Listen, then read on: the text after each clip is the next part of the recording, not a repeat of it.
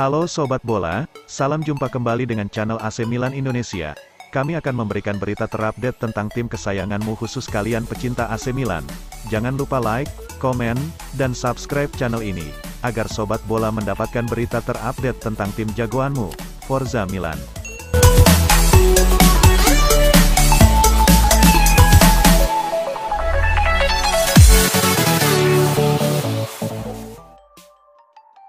Rafael Leao mengaku tak peduli sama sekali soal market valuingnya yang naik drastis sejak gabung AC Milan dan menegaskan yang paling penting baginya adalah terus meningkatnya performanya.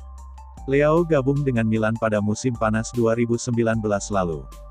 Ia diangkut dari klub Prancis, Lille. Ia dibeli dengan bandrol sekitar 23 juta euro. Mulanya Leao agak kesulitan beradaptasi di Serie A.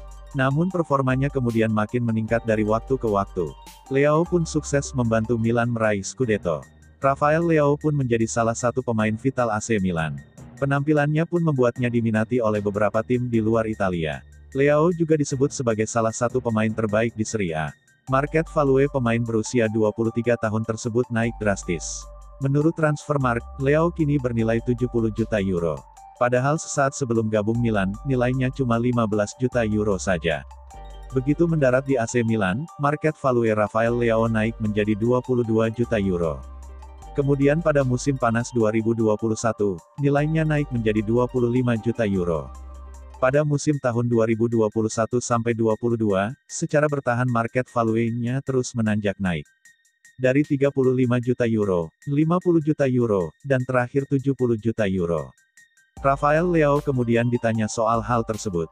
Ia mengaku sama sekali tak memedulikan hal tersebut. Demi Tuhan, saya tidak peduli soal yang satu ini. Nilai saya yang sebenarnya adalah hal lain, ucap Leo pada Corriere della Sera. Tuhan memberi saya bakat dan saya harus bersyukur dan terus bekerja keras untuk tidak menyia-nyiakannya, sambung Leo. Rafael Leo kemudian ditanya soal musimnya yang luar biasa pada musim lalu bersama AC Milan. Saat itu ia membantu Rossoneri meraih Scudetto untuk pertama kalinya sejak tahun 2011 silam. Leo kemudian memilih untuk mengapresiasi para Milanisti, supporter AC Milan.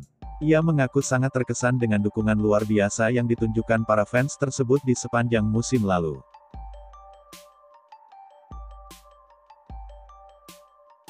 Gelandang Lille Renato Sanchez dikabarkan telah mengunjungi fasilitas AC Milan jelang transfernya ke klub yang tak lama lagi bakal terwujud.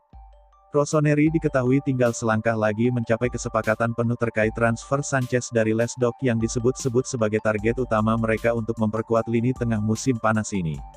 Saat berbicara kepada Sky Italia, Gianluca Di Marzio menyebutkan bahwa kesepakatan Milan dengan pemain internasional Portugal telah dicapai dan hal tersebut dilakukan tidak secara cuma-cuma mengingat permintaan dari sudut pandang gaji dan komisi dari agennya, Jorge Mendes.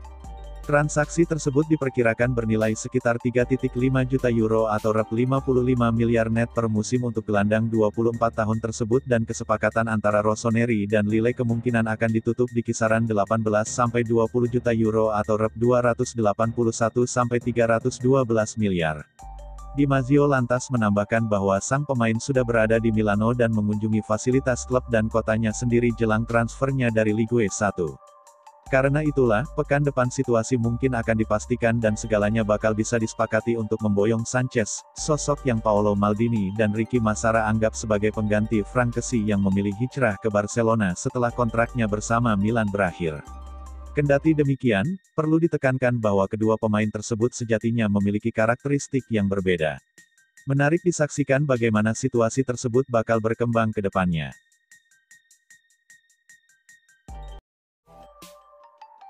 Penyerang asal Belgia di Divock Origi sudah berada di Milan dan menjalani tes medis sebelum teken kontrak dengan Rossoneri. Origi direkrut oleh AC Milan secara gratis dari Liverpool. Kontraknya di Anfield memang sudah hangus. Sejumlah tim sebenarnya sempat mengejar Origi. Namun sang striker memilih gabung Milan. Rossoneri sudah mencapai kesepakatan dengan Origi sejak beberapa waktu lalu. Namun ia belum kunjung tiba di Milan. Divock Origi sejatinya dikabarkan bakal merapat ke Milan pada pekan lalu. Namun jadwal kedatangannya ternyata molor. Origi akhirnya dilaporkan bakal merapat ke Milan pada awal pekan ini. Pada hari Selasa, tanggal 28 Juni tahun 2022, ia disebut bakal menjalani tes medis. Setelah itu ia akan teken kontrak di Casa Milan. Origi kemudian akan resmi jadi pemain Rossoneri. Kabar tersebut ternyata bukan hoaks. Dovic Origi sudah tiba di kota Milan.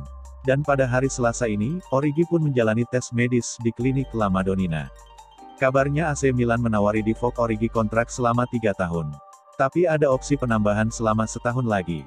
Untuk gajinya, ia dikabarkan bakal menerima 3.5 sampai 4 juta euro per musimnya. Sementara itu menurut Gianluca Di Marzio, Origi akan mendapat bayaran sekitar 65.000 euro per pekannya. Jika segalanya berjalan lancar, maka Origi akan menjadi rekrutan pertama AC Milan pada musim panas 2022 ini. Klasemen Serie A Juara Serie A AC Milan diklaim menjadi tim pertama yang mendekati Angel Di Maria setelah ia berstatus bebas transfer dari PSG. Musim panas ini Di Maria bisa bebas pergi ke klub mana pun yang ia mau. Kontraknya di Park des Princes memang sudah kedaluarsa. Pihak PSG sendiri kabarnya berniat mempertahankan Di Maria. Namun usaha mereka tak berhasil. Beberapa tim kemudian disebut siap menampung Di Maria. Sebab meski sudah berumur, ia dinilai masih belum habis.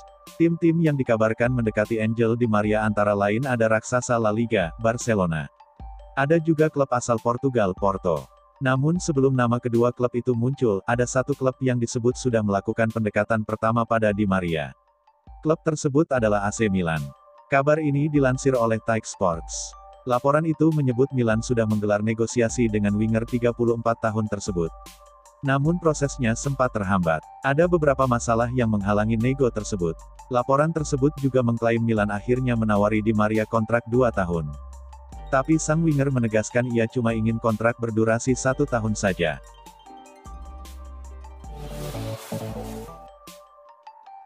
Paolo Maldini dikabarkan sudah sepakat bertahan di AC Milan.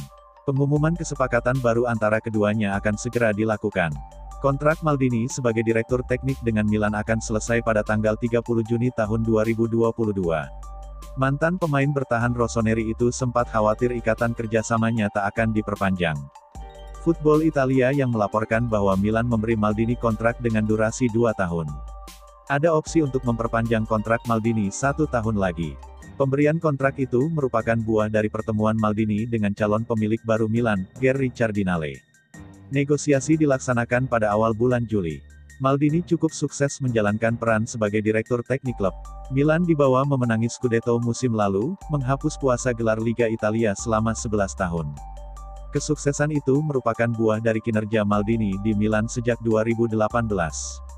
Dia mendatangkan beberapa pemain penting seperti Mike Maignan, Theo Hernandez, Rafael Leao, Zlatan Ibrahimovic, sampai Brahim Diaz. Milan sedang berupaya untuk memperkuat skuad musim ini. Beberapa nama sudah disebut menjadi incaran. Renato Sanchez dan Sven Botman merupakan dua pemain buruan Milan asal Lille.